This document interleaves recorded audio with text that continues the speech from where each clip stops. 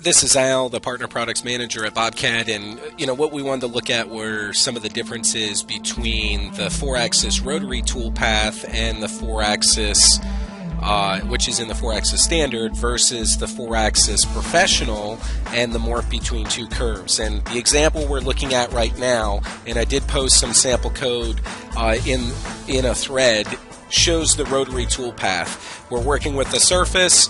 Uh, the tool is going around the part. It's moving up and down in Z, but it's not shifting in Y. It's not moving in Y at all. It just goes up and down in Z and it follows the model.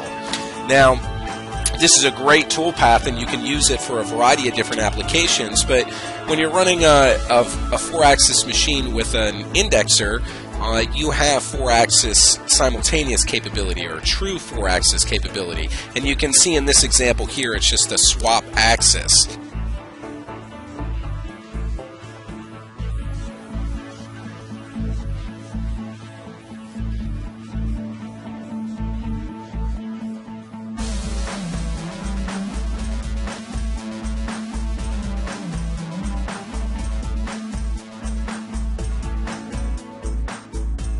This is morph between two curves, and you're going to see that it's significantly different.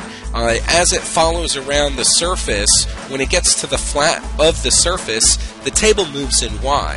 So it's actually controlling the Z for the up and down, the rotation, and a Y movement as well. And that's what makes the 4-Axis Pro so powerful, is when you're dealing with uh, using an indexer and some surfacing operations, sometimes you really need the control to drive in the Y-axis. Uh, being able to cut in the Y-axis at the same time is essential for making the part properly.